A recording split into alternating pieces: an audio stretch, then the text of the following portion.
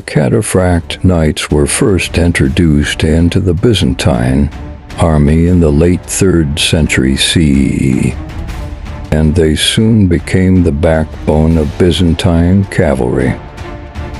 The troops were equipped with heavily armored horses, with layers of steel plates. During the wars of the Byzantine Empire, the cataphract knights were extensively used.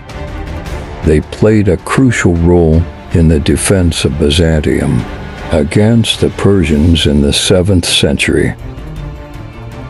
The cataphract knights of the Byzantine Empire often engaged in epic battles, and their victories in these battles made them famous in world military history. The cataphract knights, led by the renowned Byzantine general Belisarius, demonstrated their tactical skill and combat ability in the battle against the Sassanid Persian army. They successfully destroyed the Persian front line and forced them to retreat. The Byzantine cataphract knights, led by General Petronius, defeated the Arab army at Poson this victory forced the Arabs to retreat and kept Byzantium dominant in the region. The Byzantine cataphract knights, then led by Romanos IV, fought against the Seljuk Turks near Manzikert, and although this battle ended in defeat for Byzantium, the cataphract knights demonstrated remarkable combat ability in this battle. The Byzantine cataphract knights, led by Emperor John II Komnenos, launched an attack against the Bulgarian Empire army in Beroia.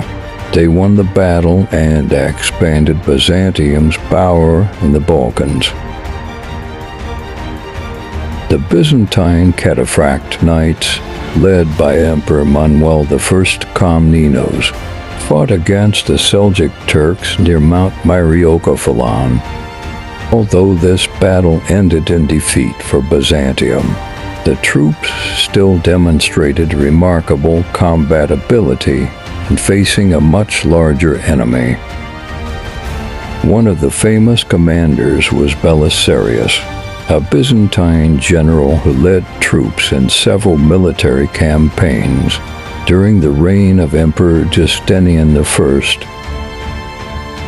Belisarius and his troops demonstrated highly effective war tactics.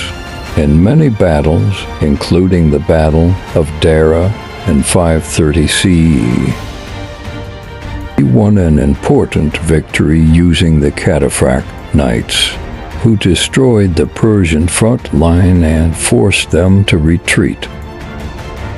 Later, in the 8th and 9th centuries CE, the cataphract knights were led by several other generals and military leaders, including Nikephoros Phocas, an emperor famous for his courage and military skills.